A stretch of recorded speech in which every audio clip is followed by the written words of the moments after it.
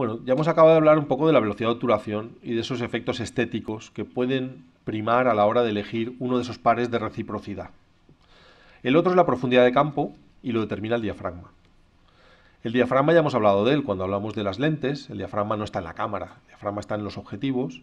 Entonces, cuando hablamos de los objetivos, dedicamos un tiempo a hablar círculos de confusión, diafragma, eh, diafragma mínimo, luminosidad. Entonces, bueno, por hablar por encima, que sepáis que es un dispositivo de laminillas en el objetivo y lo que hace es determinar un orificio de distinto diámetro. Como, decía José Manuel Saiz, cuanto más redondo, mejor. Hay laminillas, que, objetivos que son baratos y tienen cinco laminillas. Cinco laminillas no determinan la misma perfección de círculo que 12 laminillas. Pues de aquí sale parte del precio extra de un objetivo, aparte de los baños, la luminosidad, distancia mínima de enfoque, construcción, pues también eh, parte de la construcción es esto, cuántas laminillas tiene el diafragma.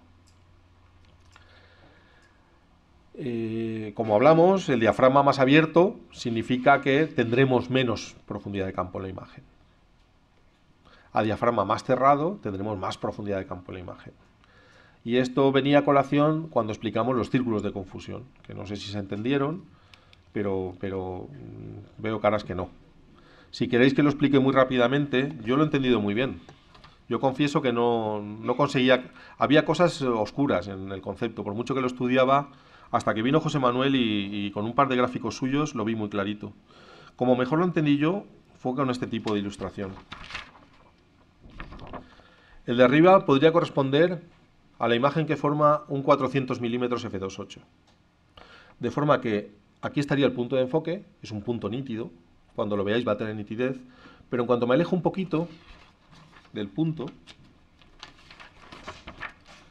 el círculo es grande entonces la profundidad de campo no se va a apreciar, apreciaré que está desenfocado. Y el siguiente, más grande, más grande. Es decir, nada más me aparte un poco del punto de enfoque, entro en círculos muy grandes. Y mi ojo va a ver que no está nítida la imagen, que está desenfocada. En este caso, que podría corresponder a un angular con un diafragma cerrado, cerca del punto, a la misma distancia que tenía un círculo enorme, el círculo es muy pequeñito, es casi un punto. Mi ojo lo va a ver como todavía enfocado. Y si me aparto, pues todavía, hasta que no llegue a cierta distancia, que ya vea un círculo, no empezaré a ver que esto es desenfoque. Pues esto es los círculos de confusión. Y vienen a colación porque son importantes, porque es hasta dónde dejo de ver nítida la profundidad de campo. Es decir, hasta dónde empieza a ver desenfoque ya. Bueno, ya os hemos recomendado esos dos diafragmas básicos al aprendizaje del F1 y 1.4 y a partir de ahí saco pues, todas las tablas de, diafragmas enteros. ¿Veis? Esto es una imagen realizada a las 10 y media de la mañana, con mucha intensidad de luz, había bastante luz, era un día nublado clarito, y para conseguir ese efecto, para que el agua no me distraiga, porque no quiero ver oleaje, no quiero, quiero una imagen como más simple, más minimalista, eh, tratar un poco el espacio, me molesta el detalle. ¿Qué hago? Saco un filtro de densidad neutra, tanto más potente cuanta más intensidad de luz hay, en este caso de 10 diafragmas de luz. Y además el filtro de 10 diafragmas, el, que os resta 10 diafragmas de intensidad luminosa, es muy interesante porque te enseña a trabajar de otra manera. Una vez que lo pones, se acabó el enfocar, porque no ves, y la cámara tampoco es capaz de enfocar, y se acabó el encuadrar, porque no ves, no ves nada, es como si hubieras puesto la tapa. Esto es un ejercicio excelente, todo lo que no hayas previsto antes de enroscar el filtro, te toca desenroscar el filtro para hacerlo. Entonces, bueno, pues tienes que tener en la mente que tiene que estar todo ya, eh, eh, haber aplicado la, distancia hiperfocal, que ya os enseñé el truco de, llevar la tabla y enfocar a esa distancia más o menos a ojo. Ya sabes que desde la mitad hasta infinito todo va a estar nítido. Ya hemos enfocado, ya sabemos que todo en la imagen va a estar nítido. Ya sabemos que, que tenemos todos los parámetros ajustados y en el momento que enrosco el filtro, pierdo la visión de lo que voy a hacer. En esta imagen, además, como el cielo era muy clarito, este tipo de imágenes es imposible obtenerlas por su alto contraste. Es imposible obtenerlas. Alto contraste, bueno, es un día nublado, pero si quiero sacar ese verde delante, si quiero sacar ese colorido delante, la imagen tiene que ser aclarada en el primer plano. Es una diferencia de contraste muy grande entre un cielo que casi siempre aparece sobreexpuesto y el primer plano que aparece oscuro. La cámara lo resuelve, pero no con este resultado de color. Lo que he hecho es poner un, un portafiltros enroscado a ese filtro ND de densidad neutra de 10 diafragmas y he metido un filtro que voy a mover. He metido un filtro inverso, que es una banda muy oscura, y empiezo inclinado por encima de la flor, de las flores de brezo, y lo voy moviendo, si la exposición dura 2 segundos, pues lo dejo 10 segundos tapando parte del canal, 10 segundos en las rocas y parte media del canal, 10 segundos ya recto a nivel del horizonte, no, perdón, a nivel del horizonte lo dejaré como 30 segundos, y durante los últimos 40-50 segundos lo saco y dejo que se, que se igualen esos contrastes. Y el resultado es este. Sin eso no se podría obtener de forma directa. Tendría que hacer luego retoques de Photoshop. No sería posible obtenerlo así. Hace falta el uso de, estos, estos. ¿Por qué el empeño? Pues porque ahora puedo ir donde quiera con esta imagen. Es decir, si tengo un RAW, puedo participar en cualquier concurso que me pidan un RAW con la imagen. Y yo he disfrutado pues, como un enano haciéndola. Ya es una opción personal. Pero bueno, ese detalle en las nubes, es decir, ese detalle en el cielo, se ha conseguido porque hay un filtro inverso que se ha dejado más tiempo en esa zona y ha rebajado el contraste, ha quitado luminosidad en esa zona para que yo vea detalle. Pues todo esto es entender la exposición. Todo lo que estamos hablando es entender la exposición, ver tu foto y pensar sobre ella. ¿Me gusta? No me gusta. ¿Qué ha fallado? Pues mira, el histograma es perfecto, la exposición está muy bien. Me falla la distribución de tonos. Veo el cielo muy claro y me quita atención al primer plano. Bueno, pues para eso están los, elementos de la fotografía. ¿Qué necesitas? Oscurecer el cielo. Pues para eso hay filtros degradados. ¿Qué filtro degradado necesitas? Este. Es que no lo tengo. Bueno, pues habrá que comprarlo, lo vas a amortizar. Esta situación se te va a dar más veces. Es que el agua me sale con mucho detalle. Tendrás que hacer una exposición muy larga. Tendrás que comprar un filtro eh, de densidad neutra. ¿Cómo lo compro? Lo veremos en el capítulo de filtros, pues si no nos apartaremos mucho de lo que es exposición. Es decir, no, no salpiquemos mucho las cosas, pero bueno, si alguien tiene una necesidad imperiosa de, qué filtro me compro y cómo se ve, bueno, lo, abordamos, se pregunta y lo abordamos.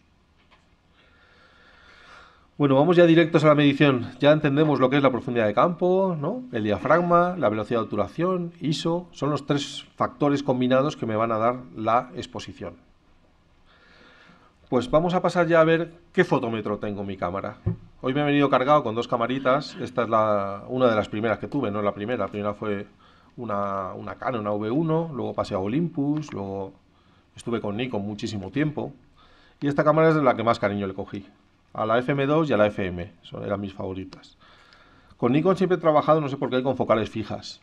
50, un 24 fijo, un 20. He disfrutado mucho de esa manera.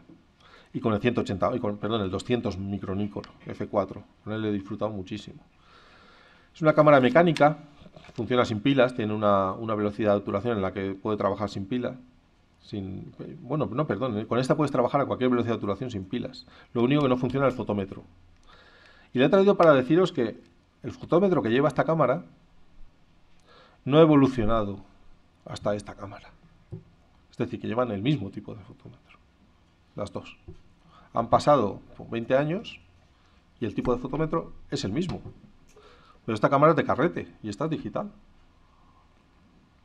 ¿En qué ha cambiado esto? Es decir, ¿me vale tener el mismo tipo de fotómetro?